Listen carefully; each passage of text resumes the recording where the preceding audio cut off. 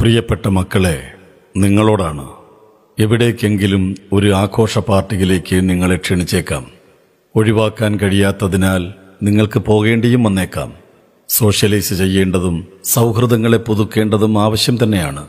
എന്നാൽ എവിടെ ഏതുതരം പാർട്ടിക്കാണ് നിങ്ങൾ പോകുന്നത് എന്ന ഉത്തമ ബോധ്യം നിങ്ങൾക്കുണ്ടായിരിക്കണം. ഒഴിവാക്കുകയും അകറ്റി നിർത്തേണ്ടതുമായുള്ള സകലതിനെയും ബോധപൂർവം തന്നെ ഒഴിവാക്കുകയും വേണം. L S D M D M A കഞ്ചാവ് ഹെറോയിൻ മാജിക് മഷ്റൂം എന്നിങ്ങനെ പല സാധനങ്ങൾ വിലസുന്ന പാർട്ടികളുണ്ടാവാം.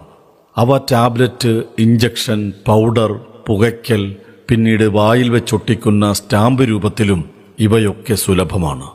ഇനി പാർട്ടിയിൽ പങ്കെടുത്തു കഴിഞ്ഞു എന്നിരിക്കട്ടെ. സൗഹൃദത്തിന്റെ സമ്മർദ്ദം നിങ്ങളിലേക്ക് വരും. ഇതൊന്ന് വലിച്ചു നോക്കൂ. ഇതൊന്ന് കുത്തിവെച്ച് നോക്കടാ. ഇതൊന്ന് കഴിച്ചു നോക്ക്. എന്നൊക്കെയുള്ള സമ്മർദ്ദങ്ങൾ. നിങ്ങൾ ഉപയോഗിക്കാൻ തയ്യാറല്ലെങ്കിൽ അമ്മയെ പേടിയാണോ? അച്ഛനെ പേടിയാണോടാ? നീ ആണാണോടാ? എന്നിങ്ങനെ നാണം കെടുത്താൻ ശ്രമിക്കുന്ന സമ്മർദ്ദങ്ങളും നിങ്ങളിലേക്ക് വരാം. നിങ്ങൾ ആണാണെന്ന് തെളിയിക്കാനായി ഒരു പ്രാവശ്യം സമ്മർദ്ദക്കാരുടെ വലയിൽ വീണു പോയാൽ ആ വല ഭേദിച്ച് പുറത്തു വരിക എളുപ്പമല്ല. വലയിൽ വീണു കഴിഞ്ഞാൽ യഥാർത്ഥത്തിൽ നിങ്ങളുടെ ആണത്വം ഇവിടെ നിന്ന് ക്രമേണ നഷ്ടപ്പെടാൻ തുടങ്ങുകയാണ്.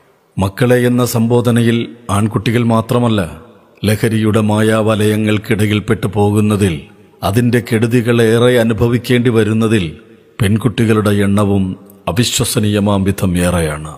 ഓരോ ലഹരി പാർട്ടിയും അവസാനിക്കുന്നത് മക്കളെ നിങ്ങളുടെ വിലയേറിയതെല്ലാം നഷ്ടപ്പെടുത്തിക്കൊണ്ടും മൂല്യവത്തായ ജീവിത വിശുദ്ധിയെ ഇല്ലായ്മ ചെയ്തുകൊണ്ടുമാണ്. ആണത്തവും പെണ്ണത്തവും തെളിയിക്കാനായി ഒരു പ്രാവശ്യം തയ്യാറാവുമ്പോൾ ആ ഒരു പ്രാവശ്യം എന്നുള്ളത് പിന്നീട് ഇടയ്ക്കിടയ്ക്ക് വേണ്ടിവരും. അവസാനം കരകാണാ കയത്തിലേക്ക് നിങ്ങൾ വീണു പോയിട്ടുണ്ടാകും.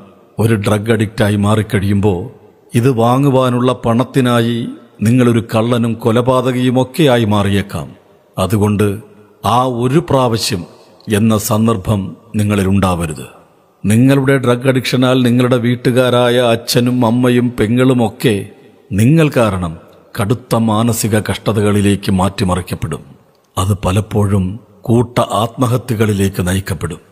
ഒരിക്കൽ നിങ്ങൾ ലഹരിയുടെ ഉപഭോക്താവായി മാറുമ്പോൾ യഥാർത്ഥത്തിൽ ലഹരി മാഫിയയിലെ കണ്ണിയായും വിതരണക്കാരനായും കൂടി മാറുകയാണ്.